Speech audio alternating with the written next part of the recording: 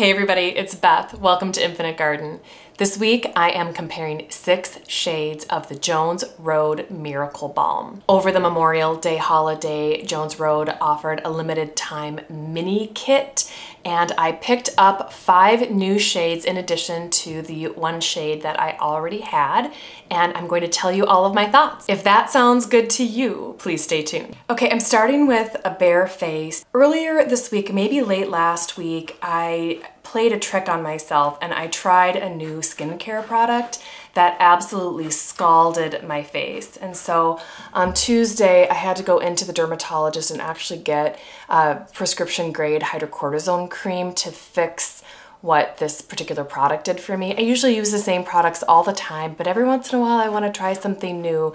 My skin is super sensitive and reactive and this one did not agree with me. I wanted to note that in particular because I have found that the Jones Road Miracle Balm has actually been an ally for me in healing from this particular issue. So what I have on my skin right now is some hydrocortisone cream that my dermatologist gave me and then some moisturizer. I wanted to show me using the Au Naturel product as a primer, as a, you know, oil-based primer. The Au Naturel is the second Miracle Balm that I purchased, and that compares to the Miami Beach, which was the first one that I purchased. In the promo materials that Bobbi Brown created, she described Au Naturel as being colorless, but as having a slightly pearly finish and I wanted to see what this one looked like. So I'm going to use that all over my face as a primer for you to see. So I'm just gonna dig my finger in and grab a little product here. Bobbi Brown says to warm it up in your fingers and pat it in. It has a distinctly sort of spa scent and I understand this to be ginger. That doesn't seem to bother me at all. So that is me putting the Au Naturel all over my face. What I have found this week as I'm healing is that it seems to provide that extra occlusive barrier that my skin is desperately needing right now. There was an Au Naturel that came in the mini set. The mini is 0.3 ounces and the full size is 1.75. So there's a huge differential between the mini and the standard size. So you could apply the other Miracle Balms directly on top of this balm without using a foundation. Because of the current condition of my skin and because I normally use foundation every day, I am going to go ahead and do that now. So I am going to be using the Jones Road What the Foundation. I'm using the color Fair. I've had this now for a couple of months and I've worn it a ton. You can see how much I've used. I've hit bottom in a couple of spots here. And so I'm going to put that on my face right now directly over this Au Naturel. I've got about that much on my hand and I'm going to apply it with my fingers to start. In my previous review of the Jones Road product line, I did share that I like this foundation a lot and that hasn't changed at all. Since that review, I've continued to use it almost every day. I also really like Chanel's Sublimage Le and so if you are someone who likes that particular product, you may also like the Jones Road What the Foundation. Just gonna brush this in here and there. You can see how shiny my skin is. I know that, you know, makeup is skincare right now is all the rage. I can say that this Jones Road product line really does genuinely feel like makeup as skincare. I do feel like my skin is healthier and better for using it. I think if I were using one of my favorite liquid foundations right now, I think it would really show the dryness and sort of irritated spots that are that are all over my face right now. I feel like the What the Foundation, especially with this Au Naturel as the base, I feel like these products calm my skin down and then moisturize it and protect it. So I've been very grateful to have them. The set of miniature Miracle Balms that were sold during the Memorial Day sale included a range of colors and the deepest color in the mix was the color Sun-Kissed. Now, Bobbi Brown says that this one is especially useful for people with deeper skin tones, and that makes sense to me. It is a very neutral shade though, and I have found that it is useful for me as a bronzer and it changed my thinking about what I should be looking for in a bronzer. If you've watched my channel, you know I don't really make a lot of use of bronzer because often it's way too orange. And I think what I'm realizing is that what I might actually need is a deeper bronzer in a neutral tone. So you can see how sheer this one will actually go. I've sheared it out down here. So I'm gonna put some of this Sun-Kissed shade at the top of my forehead. I'm gonna come around here and put a little bit there. So this side has Sun-Kissed applied as a bronzer. I'm gonna come a little bit down the neck too. So this side has Sun-Kissed applied as a bronzer and there is only Sun-Kissed here on this side, but nothing in the cheek area. I have been surprised by how much I have liked this particular shade. I think if she hadn't made the minis available, I don't know if I would have chosen this one because I might have thought that it wouldn't work on somebody with my skin tone. But again, these are so sheer and I wanted you guys to see that. I think if you do have deeper skin, it will be very beautiful for you. I'm gonna blend this out with a brush. It is somewhat imprecise. Just for comparison, this Gucci powder bronzer has been my go-to and lately I have been enjoying this Sun-Kissed far more as a bronzer. I think this may have shown me something that I needed to know. It's also beautiful on the lips. It's extremely moisturizing and I'm really excited about these minis because they're easy to slip in my purse. I hope she continues to offer them. Okay, at this stage in the game, I have Au Naturel all over my face and I have Sun-Kissed applied as a bronzer just around the sides of my face. I'm gonna set these to the side and we're gonna focus on the pink toned Miracle Balms that I have in front of me here. So the first Miracle Balm I purchased, period, was Miami Beach, which is a coral with a bit of a gold reflect. So then the mini set included two other shades. We have Dusty Rose, which is a desaturated rose color with some silver reflect and then the color Flushed, which is more of a kind of candy pink, baby pink. All of these are shades that I use in other blush formulas, so I was excited to try all of them. So Dusty Rose is an extremely minimal shade. This particular shade is very close to my natural skin tone and to some of the colors that are already present on my face to the point where the shade plus the sheer format of the formula make the shade very hard to detect. So I'm going to put it on my cheek here just so you can see. Hope you can see this. So I'm patting Dusty Rose on my cheek right now in almost its full strength, just so you can see how pale this really is. Anyway, so here you can see the difference. This is Dusty Rose. This is a bare cheek.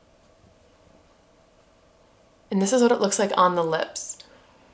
I think when you apply this particular shade to the lips, the silver reflect is more apparent. On this cheek, I'm going to apply Flushed. Here you can see what this looks like applied to the finger. This is a very sheer formula. And what you get is a very natural looking flush. So this is Dusty Rose and this is Flushed.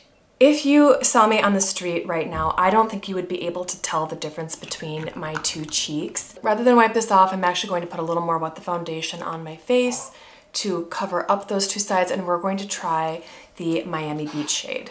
Now I showed this in my previous video, but I was afraid to break the surface. I don't know, there's just something about that. I had a mental block about it and I did get a comment saying that that was necessary. So I finally just went for it and broke the surface. And so here it is. I've got a bunch of it on my finger right here. That's Miami Beach. Again, it's a coral with a gold reflect. Miami Beach is a little punchier than the other two shades is what I have found. And I personally like a coral blush a lot. I find that to be a flattering color for me and my skin tone. It always looks summery and healthy. So here is Miami Beach on this side alone. I'm going to apply it to the other side. I have way more than I needed. I'm gonna put a little on my lips. I feel like you can build Miami Beach up a little better than you can the other two shades. This is Miami Beach on my cheeks and lips. Of the three pinky shades that are intended for use as blush, I personally prefer the Miami Beach. I just think that's a good color for me and my skin tone. The other two shades I have found as I've tried to make them work throughout the week, I have found that they aren't strong enough for me and I end up going over them again with a powder blush. So for instance, if I'm using Flushed, kind of the baby pink shade, I've been going over it with Dim Infusion from Hourglass. This is another one of the baby pink blushes in my collection and I find that that's a good mate for Flushed. If I've been using Dusty Rose, I actually find myself going in for the Jones Road Lip and Cheek in English Rose. This product is more pigmented and I generally think it plays beautifully with the What the Foundation. This is Dusty Rose right next to it. You can see Dusty Rose almost doesn't show up next to English Rose in the lip and cheek formula. So I have been punching up Dusty Rose with English Rose and have found that to be very beautiful. I do prefer the lip and cheek as a cheek product rather than as a lip product, but only because of the color and I wonder if I chose a different color if I would reverse that opinion. I think the formula feels good in both applications. On me, this particular shade on my lips is maybe a little too gray. Let me just show you. This won't go beautifully with the Miami Beach cheeks, but I can at least show you how it looks on the lips. It's not bad, it just winds up looking a little purple on me. It's a nice product, I like it. If you've been interested in the Miracle Balm for use as blush, I just wanna show you how it compares to other cream blushes in my collection. So starting first with Miami Beach, we'll put that one right here. Miracle Balm in Flushed, and then Miracle Balm in Dusty Rose. The Miracle Balms are super sheer. This is the Merit Flush Balm in Beverly Hills. Next to Dusty Rose. This is the Jones Road Lip and Cheek in English Rose. The lip and cheek in English Rose is somewhere between Flushed and Dusty Rose. Rare Beauty's Liquid Blush in Hope is also a muted Dusty Rose.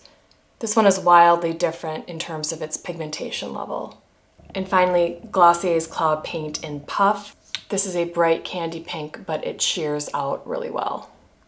I know those swatches were a little messy, but I hope it shows you that the Miracle Balm in the pink colors is incredibly sheer. And if you're someone who likes a more apparent, kind of punchier blush, it might not be the right product for that and you get so much. This is just so much product. Like a Pat McGrath blush is 0.34 ounces and this is 1.75. I think the Miracle Balms work in a nice way as a blusher, but for me, like I've said, I felt the need in most cases to have to supplement it. I do think Miami Beach gives me enough where I don't need to supplement that shade. Okay, the last one I want to talk about was a total curveball for me, and this is the shade Magic Hour. This is a kind of medium tone bronzy shade that has significant shimmer in it. And when I say significant, I really do mean that. It has pieces of, I think it's pearl. I think that's what it is. I don't think it's glitter necessarily. When I got this and I started playing with it, my first thought was that this might actually be really nice like on the shoulder or on the arms in the summertime, you know, just to kind of like catch the light a little bit. Here's the difference between my two hands. So when I was trying this, I actually put some on my legs. I wanted to see what it looked like if I was wearing shorts or a skirt in the summertime. Would it be something kind of like, you know, a body oil, a glistening body oil, something like that. So a few days ago, I tried this on my legs and later in the evening, my husband and I were in the basement watching the last couple episodes of Ted Lasso. Anyone else? Did any of you guys like that show? I just loved it. Anyway, we have a lot of overhead lights, like can lights in the basement. And I was sitting on the sofa on the little chaise part with my legs out and it looked like my legs were covered in straight up glitter. I was like, oh no! Gosh, I'm getting a big package right now. I have two dogs in the house right now, Chewy and Leo. I'm watching my friend's dog right now for the day. The moral of the story here is that Magic Hour isn't just a little reflective, it's almost glittery. And it's to the point where I don't actually want to use it on my face. Its glitteriness has almost a piecey quality, like little pieces of glitter. I'm gonna put a little bit on my shoulder right now just so you can see. I still think it's nice for that purpose. I can see it right now. It looks like I have body glitter on. I'm so surprised by Magic Hour. I think it's probably meant to be put on as something like, you know, highlighter or whatever, I mean, it's glittery the way like a Victoria's Secret body glitter is glittery. It's really surprising to me. And for that reason, I'm not going to show it to you on my face. I just don't want to do that to myself right now. So I'm going to finish up my makeup quickly and I'm going to be back with some final thoughts. Okay, I'm back and I completed my makeup. The biggest step I wanted to make sure that you knew I took was that I did powder my face. I used, in this case, the Pat McGrath Loose Setting Powder. I made my way through the Cloud Set powder, the baked formula, which I love. And I told myself that before I repurchased that, I was going to have to make my way through my loose powders, which I just don't love as much. I think they're just a little too messy and fussy and it's a format issue. Anyway, I did that. You can still see my face looks pretty luminous and I used quite a lot of this. I put on a little eye makeup and we're back. So I wanna give you some of my final thoughts after trying this set of minis and getting to understand the line a little bit better. So let me tell you what I would recommend and what I would steer you away from. You probably already know if you made it this far into the video. I am a fan of the Au Naturel and I do think that this large 1.75 ounce tub of the Au Naturel is a reasonable product amount to be providing. This has a lot of applications and I think I will use all of this and I'll use the little mini as well.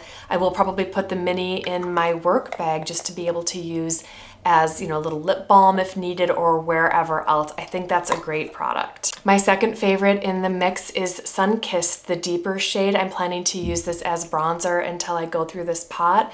Would I buy a giant pot of it? I don't know. But if she continues to offer minis, I think I would repurchase this as a mini. It's just really great and I'm loving how it looks on my face. It's very natural.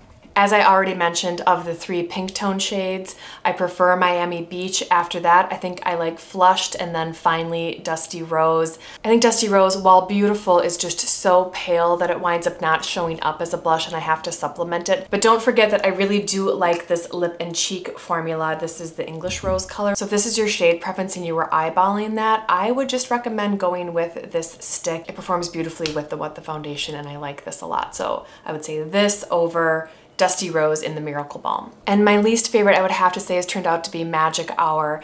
I find that it winds up looking exactly like body glitter. I think the only time that I would use this product would be on like a vacation context or a summertime going out context when I wouldn't mind that people could visibly see me wearing what looks like body glitter. And I don't think that Magic Hour is great on the face. So in my personal opinion, I would say skip Magic Hour. I want to hear from you. Have you tried any of these miracle balms?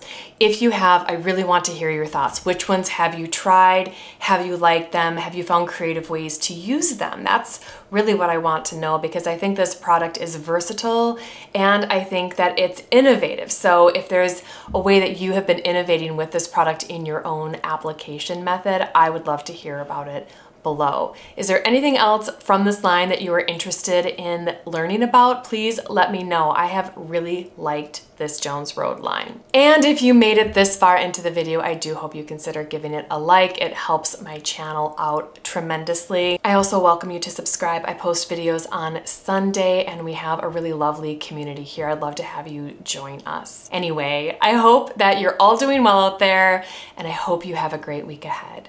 Thank you so much for watching. Talk soon.